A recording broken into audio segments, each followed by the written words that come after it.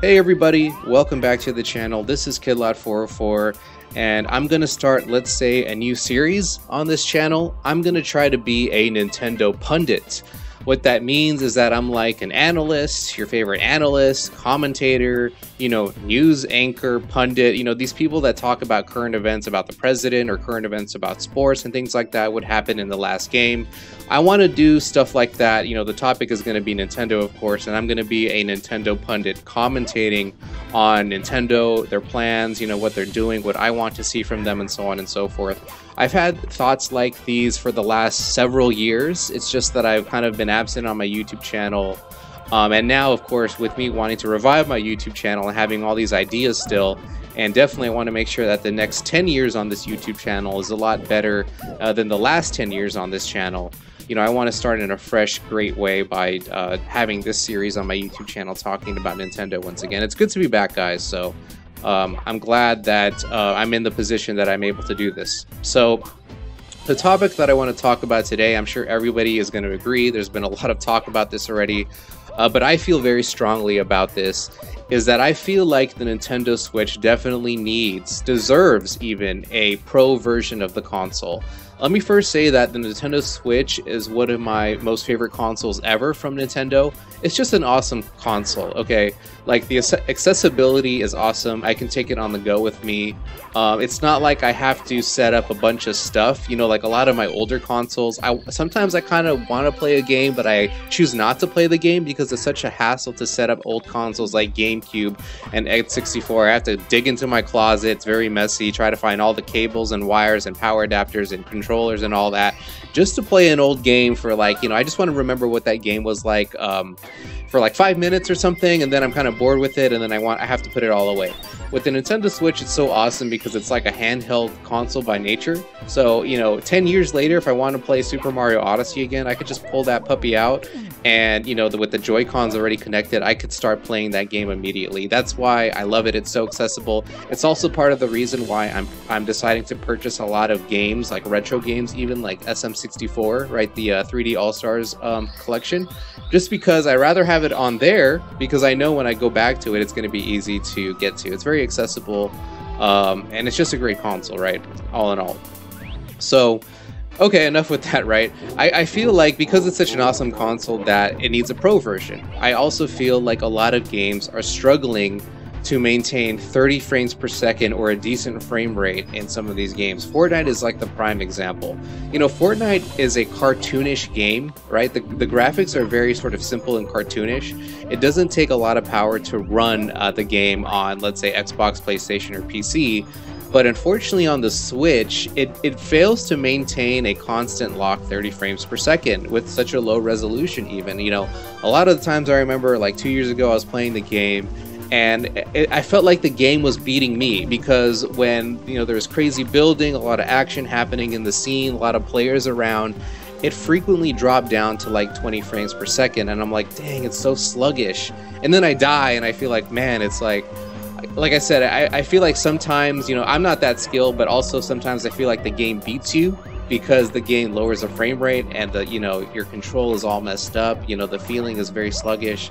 And i feel like the game beats you like that. It's like aha we want to we want to lower the frame rate and then kill you and then you're done so, you know, Fortnite is the prime example. There's a lot of other games, you know, think of like third party games, right, that are, you know, ported over from other consoles.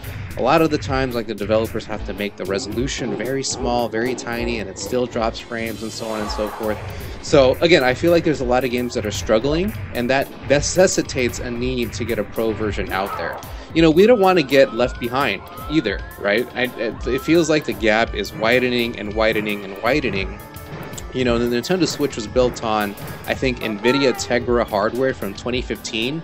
So we're five years removed from that. And nowadays, we have phones, you know, now even that are much more powerful than Switch. Xbox and PlayStation are coming out with their next generation consoles, right? Uh, this this holiday season, and that gap between the power of the Switch and these next generation consoles and phones is extremely wide. I feel like we need to close the gap because if we can at least close the gap even a decent amount, you know that'll still give incentive for developers to try to you know port cross-platform games over to the Nintendo Switch. I just want to give like a clap, like a golf clap or a gentleman's clap or something, uh, because you know the Nintendo Switch has done one of the best jobs ever of third-party support. I've actually tried so many new games just because now they're on Switch from like Bethesda, um, from other developers. You know, EA kind of is like bringing soccer back and so on and so forth. I know there's a, there's way better examples of of like third party support. I can't just think of it right now, but uh, I have to go to my Switch library to see all the different games that I'm playing. But again, you know, I love the third party support currently on the Nintendo Switch. I don't want that gap to be so wide where developers again are kind of hesitant like should we bring it on Switch? I don't know. So we definitely need to close the gap in some sense. Okay.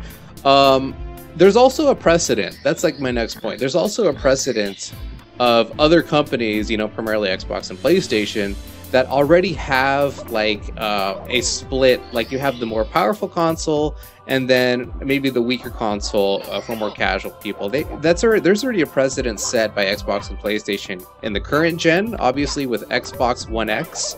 Uh, and Xbox uh, One S, and then of course PlayStation Pro and regular PlayStation.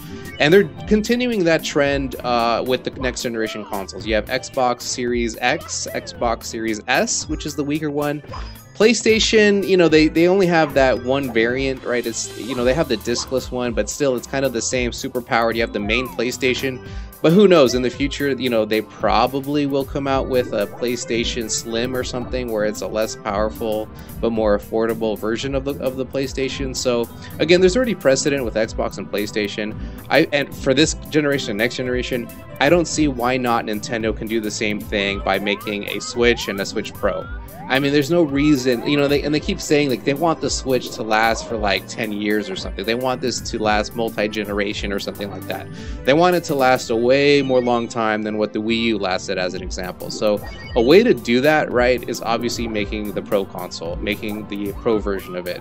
So, you retain the same console, games play this, you know, you can play the same games in either console. It's just that one of them is a little bit better because it's more powerful and you can, you know, run games at a higher resolution, higher frame rate. So again, it's just a no-brainer. I'm just trying to figure, and I'm, they're probably going to do it, but I'm just trying to figure out like when they're actually going to pull the trigger because I don't know. The, the console came out like four years ago. Maybe they can last one or one or two more years with the regular console. I don't want to see it that way, but maybe they can. And then instead of like that time where it's like, okay, the current uh, generation is kind of ending, maybe during that time they can introduce the pro version hey you know switch is not over we're not doing wii u or wii 2 we're, we're not doing switch 2 we're doing switch pro and it's much more powerful. It's using 2025 hardware or 2022 hardware or something like that and we can all enjoy the, the console that way. So i just wanted to get that out of my chest. Um, i'm dying for a new console for sure a more powerful console. And I'm trying to build my Nintendo Switch as like the library that I care about the most. Like I, I have like a one terabyte or something card in there, right? SD card. I want to build the Nintendo Switch as like my be all end all game library archive sort of thing where I have all retro games on there, every single game that I ever want to play. It's all in one console. I don't have to set up any wires. I could just pull it out and have some fun.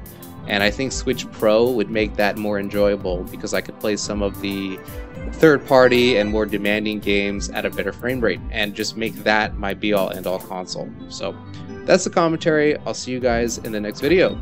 Peace.